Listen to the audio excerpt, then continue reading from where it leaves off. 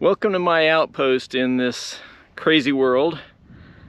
Uh, this is just kind of a, a, quick video to show you what, what I'm doing, what's changed, what's update, updated, and what I have planned. So let's go ahead and get started.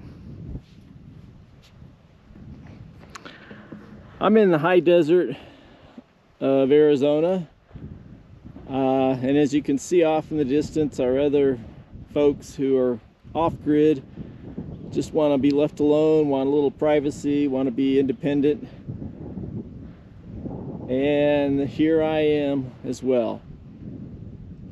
Uh, my property goes from right where this uh, private property sign is and down the road and you probably can't see the other post it's it's uh, four acres so I've got this section right here and then down below me is six acres uh, that nobody's on at least not yet. And then up behind me all the land behind my property along my uh, northern property line is state land. So nobody's building on there or on these hillsides up here. So let's go ahead and take a look uh, what I've got here. A uh, little drive up to the the fifth wheel trailer. It's a little breezy today, but it's cool, not hot. We're kind of into the fall now, um, fall season. And as you can see, the property is fairly flat, although it does go down a, an angle uh, down towards the valley area down there. There are cactus and brush on here um, and I plan on changing that, adding more trees or adding trees. I actually can't add more since I really don't have any. Uh, lots of prairie dogs, which are fine with me. They kind of let me know if anybody's around or anybody's coming on the property or any animals.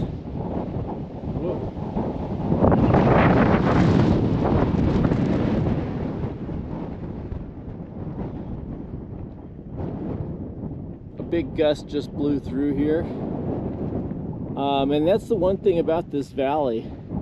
As you can see, we've got a big hillside, or some might call it a mountain up there. And it goes all kind of down that way. Route 66 runs right along that that uh, hillside there, or that mountain, as well as a couple train tracks.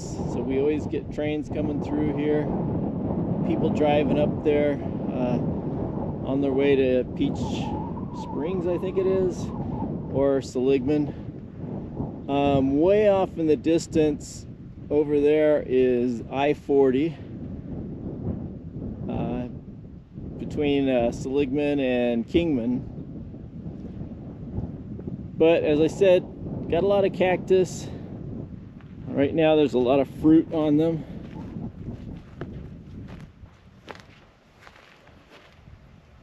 These kind of cactus you don't want to mess with.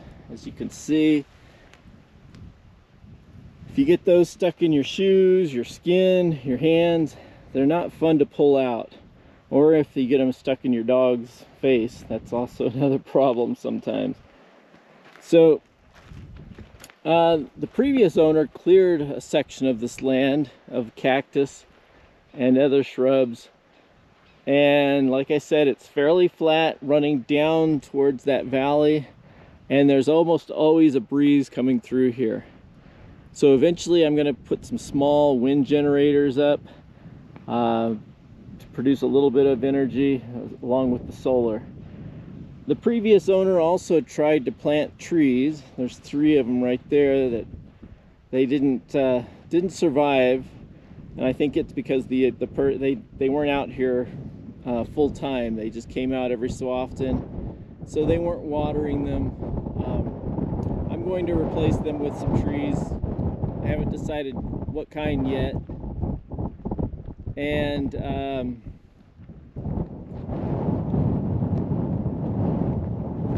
there is my home for now.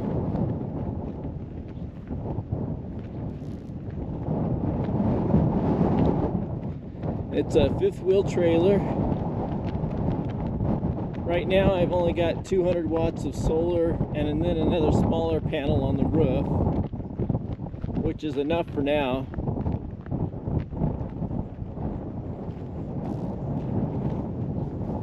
My uh, 68 International four-wheel drive, runs great, about 80,000 miles. Uh, great for hauling water and anything else I need to pick up. And this is a 67 Alaskan camper. It's a pop-up type camper, has hydraulics that raise and lower the roof. This was in the truck. Um, and the original owner of the truck put the camper in back in the late 60s and I don't think it ever came out until I pulled it out. I'm not sure what I'll do with it. I'm thinking about maybe a trailer uh, like an old truck bed trailer, kind of like the International bed, turned into a trailer uh, that's about eight foot long. Put this in it, and then uh, pull it around, you know, wherever, whenever I go camping or anything. And that way I can just park the trailer with the camper shell here in it, um, set up camp, and then use the truck to go do other things. And that is Twinkie, my dog. She's my little companion out here. There's my work vehicle. So, as I said, the property line from this corner here, where that orange bucket is, runs down. And I don't know if you can see it down there. There's another post at two acres and then further down is another post with an orange bucket at two acres. So it's two two acre parcels that have been uh, so I if I wanted I could sell the other two acres but right now I like kind of having that extra land. Um, and then all this land out here is state land. It is uh, used for cattle grazing although I haven't seen any yet. And then over way off in the distance is a windmill uh, that, and a big water tank for the cattle. And I, I assume the windmill is pumping water from a well. So the fifth wheel has a deck on this side at the entrance. Um, and I just put this deck down. It was a kind of a big pallet somebody built. Um, I and it had a ton of wood stored on top of it, and I pulled all the wood off and slid it over here. So now I have a deck next to my car that I can walk on, especially if it's raining or uh, if there's even a little snow. I can stay out of the mud. So we've got a deck there. I will eventually replace all this plywood with either 2 by 4s or some other type of planks um, so that when it does snow it you know and it melts it'll run through it instead of just water sitting on this plywood. Plywood would be great here if I enclose this or even maybe put a roof on it which I might someday put some sort of roof over it uh, right up next to the fifth wheel. But that's off in the distance off that's not not something I'm doing right now. Uh, tools and then water totes. I've got two of these water totes. One sitting on a pallet right here with a hose going into the fifth wheel and a pump inside the fifth wheel and filter and everything that pumps from it. I believe these are about 275 gallons each. And then one inside the trailer. Um, I use the trailer to go into town and get water in there, which you can see it right there. I keep them all covered up because you don't want the sun shining on these semi-transparent totes that builds up algae inside. Um, and an interesting thing about these trailers, if you're hauling water, you don't have to get a license plate on it out here you know as long as you're using it to haul water then you can just uh, run it without any plates and this is a homemade trailer These were here as well, along with the fifth wheel when I moved out here. Um, as I said, I've got solar, which I'll talk about more when I go inside. Two panels there charging a battery, which is inside the, the fifth wheel. Then up on the slide out, there's a solar panel that is charging for, I guess they're AGM or lead acid. I'm not quite sure yet. Uh, but four batteries, kind of the car type batteries. Um, and then they run all the lights inside the fifth wheel, which are all LED lights. And they, these batteries also uh, run the pump for the, the water. So that's what these are. Um, and let's see. This little structure here was already on the property. I'm not sure what they were building with it, what their plan was. I know they did a lot of skeet shooting out here, but I'm not sure really what they were thinking. It's, for now, just made a good base for my flag.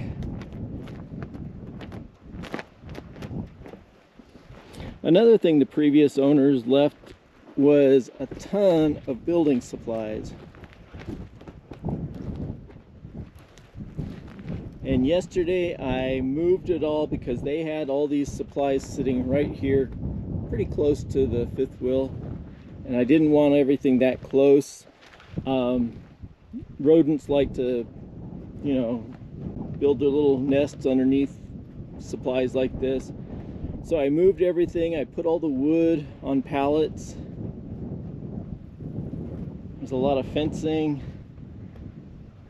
Then there's a lot of wood. Some of it's good that I'll be able to use. Some of it's scrap that'll be good for firewood.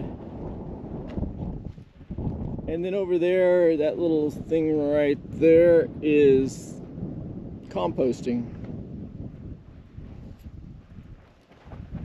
So, another reason I moved all the supplies from this section right here over to there was when I haul water, I'll be able to to instead of backing the trailer up to pump the water from this tote over to that tote uh, I'll just be able to drive it right next to this tote um, instead of backing up and just park it right there and then transfer the water. So that makes just a little easier. I'm not that really that great at backing up trailers. Um, so that's the outside.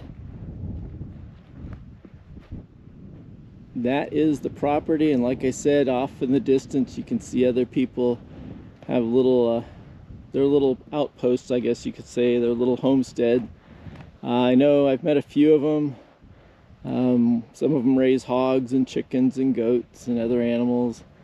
And that's something that I intend on doing here eventually. For now though um, I'm just getting ready for winter. And uh, then next summer is when I'll start getting animals. I'll get chickens first, and when I'll start growing um, different types of plants and, and trees. I might plant a few trees now before winter, some that'll, you know, maybe some sort of pine like a pinyon pine or juniper pine, which is common out here. But for now, it's just getting ready for winter. I know there'll be a few days when I'll be snowed in but otherwise uh, that's the plan so let's go inside and take a look not sure where my dog went ah here she comes she was underneath the trailer all right so first off I gotta explain all this stuff. All this junk, I guess you could say.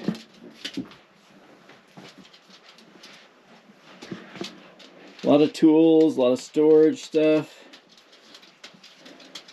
It's all kind of here because I don't have a storage shed or shipping container yet that I'll, once I get that, then I will move all this stuff and I'll have a lot more room in here. So, This is going to be my communications area. Um, and it's also where I have a lot of solar uh, things inside. Got radios here. I'm going to get a screen, a TV maybe, um, and other communication equipment just to be connected. Down below, in the very bottom, is my inverter. It's a 3000 watt inverter. And all the wires from those solar panels outside come in through the bottom of this slide out. There was already a hole in the bottom that they were running some wires through for, uh, I guess, different different items that they were running, radios and things like that. So I used that and then I made sure no rodents can come in through it. But that's where the solar comes in. That's where the uh, wind speed indicator comes in as well from outside from the roof. Um, then, like I said, a lot of this junk's going to go into storage when I get a container eventually. Uh, the bottom tote, though, there has a 200.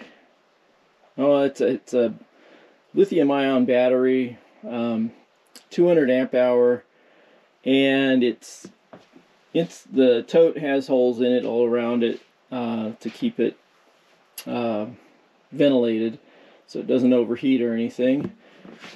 And then on the side here is the solar charge controller, which has worked great since I've got it. I replaced an older Renogy that I had that just wasn't working.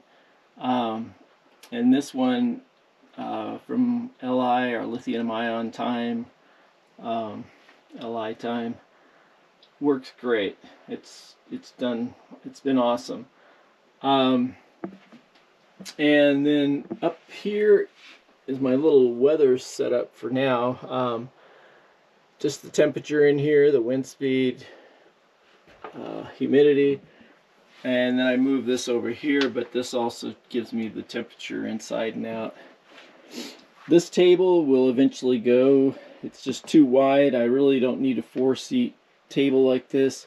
I'm going to go with something maybe a two seat, a little narrower that just fits there in the slide out. And that'll give me a lot more room here in this open area. Right now I'm using this uh, refrigerator or portable fridge and it's worked great when I was out camping on the road. Now it's working in here, works great. Again, it's plugged into the inverter.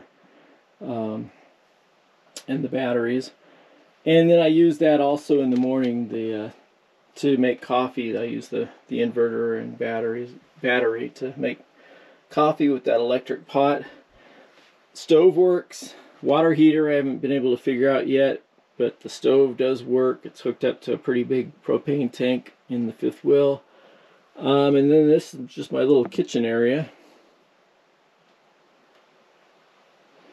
Like I said, the there's a water pump from that tank out there, that water tote, that run pumps water. It goes through a filter, and then I have water here. Don't have hot water yet. Uh, like I said, I don't haven't figured out how to get that thing started yet. Uh, this stuff will go eventually go into storage. Some of it's just food totes with uh, you know extra supplies that I've been buying and extra water. There's my garbage and recycling. And this fridge, I haven't been able to get started either. It runs off electric or gas. And for some reason, I mean, it, it turns on and everything, but it, it hasn't kicked in and used the gas yet. And I don't have enough electric to run it. I want to eventually run it off electric, though, that's instead of using propane. Uh, slide out with a little couch section right there. The original owners left two bows and two compound bows and dozens of arrows. They're all in that corner right there next to my tools. So since I don't have a the water heater on this fifth wheel working, when I take a shower, I just put five gallons in there and I use this on-demand hot tap uh, water heater, which runs off propane. And you can see down behind it is the pump. And that just pumps water from the this container. It's got a filter on it. And so it pumps water from here into the water heater and it only heats the water when you turn the water on in the shower or wherever you've got it you know if you have it using it as hot water for a sink um, so that's worked out great again I got that back when I was living in the ambulance and just wanted a way to take hot showers and wash dishes and everything with hot water so it's working great for now in here until I figure out the fifth wheels um, system. So let's go through into the back here. This first is the bathroom. Uh, the shower, which inside it stores the little uh, laundry setup. This thing is for washing clothes. And then this is just for hanging them outside to dry. You can see the uh, on-demand water that I've been using for showers. This does work, I mean, as far as water, but not for hot water yet. Uh, if you want to take a cold shower, that works great. Um, then back here is the toilet. The toilet also works, although I don't use it because I don't want to fill up the, the tanks. Um, instead, I'm using just a composting toilet. And for that it's a bucket uh, with some peat moss and some sawdust and you don't smell a thing. You, you know I fill up the bucket no odor at all. As long as you cover up your poop pretty well with the peat moss and the sawdust or wood shavings you don't get any smell. Uh, a lot of storage here for supplies electrical panel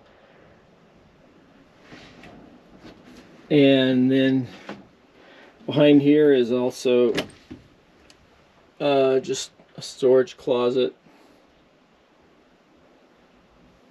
dog stuff bathroom stuff mirror over here is the sink and medicine cabinet. More storage areas. Um, and everything is hooked up. All the lights are all turn that on. They're LEDs and they're running off those four batteries that are outside in that container um, and then charged by a smaller panel that's on the roof. So they all work and as I said whoever had this before they changed out all the lights to LEDs so the bedroom. Tons of storage in here. Um, some of it's just, you know, books, which eventually will go out into that area for, uh, I'll have a little desk and bookshelf. And a little desk area here, which I just put knickknacks and office stuff on. Uh, my dog's little bed down there. And then these are all just clothes in here um, and then hanging clothes. And then this section of the closet over here is just a lot of storage things that, again, will go into a storage container or, or shed when I get it. Bed's pretty comfortable. It's a queen size bed um, with storage underneath it. And with the windows open, the air almost always flows through you know, from that side over out this side, um, which is great. The inside of the, the fifth wheel is usually about 10 degrees cooler than outside. And when it was really hot, I had a little uh, evap cooler in here that I picked up, um, which worked pretty good. You know, she liked it. She would sit right in front of it. Um, but I don't really need it now, so I put it out in the uh, the Alaskan camper, which is kind of used right now for storage. So this is my setup. Uh, it's cozy. It's great for me and the dog. Um, and I did a lot of cleaning when I first moved in. The previous owners left a lot of stuff, like I said, the bows, um, and air, the, lots of archery stuff. They had a, a recliner here, um, La-Z-Boy recliner. I got rid of that. I really didn't need it. And eventually, once all this goes into a storage shed, I'll likely put a small desk here, um, maybe with a bookshelf behind it and everything. Just an area that I can work on things, uh, put my laptop, and uh, so, but as I said, I did a lot of cleaning on this place. Um, got rid of a lot of stuff took weeks just to kind of scour everything and get it get it to where I like it. I guess I have a little OCD or something, and I just had to clean it all out, kind of start fresh. Um, and it's it's working out great so far. I'm happy with it.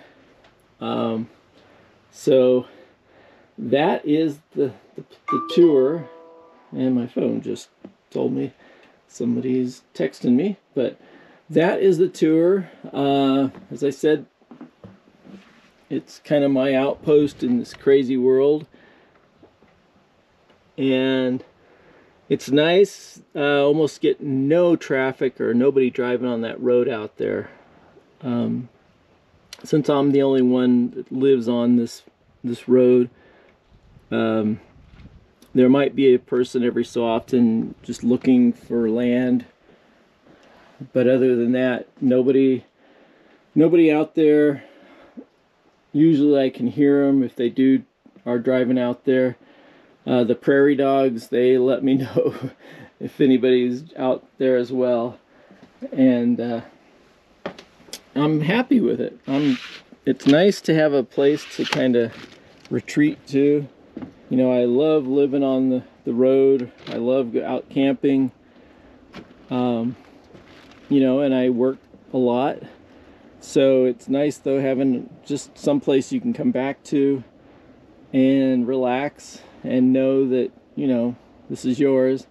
This is your headquarters, your home base, whatever you want to call it, my outpost.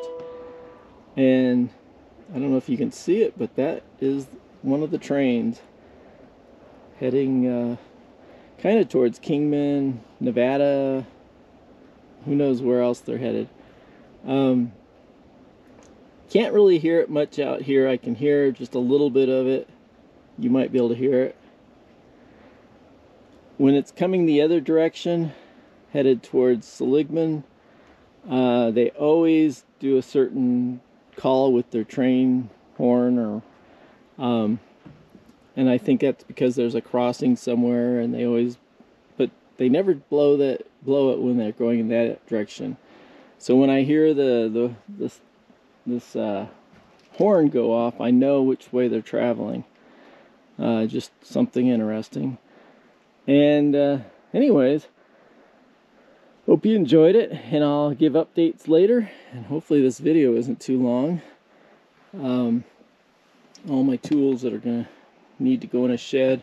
I've been out here a few months and I haven't had any problems with anybody, you know.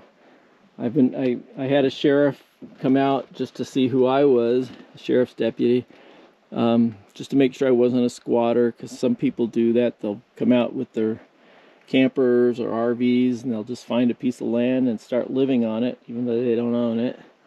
Um, and I guess somewhere out here there's a few people that are kind of uh, I think they they call them tweakers or something that they have they've had an issue with some of them who will go and steal whatever they can from other people.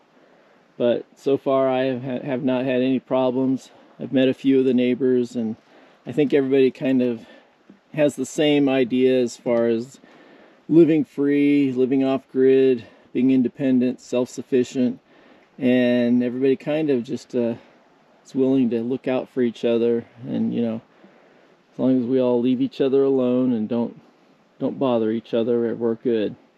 So thanks for watching and I'll keep you updated.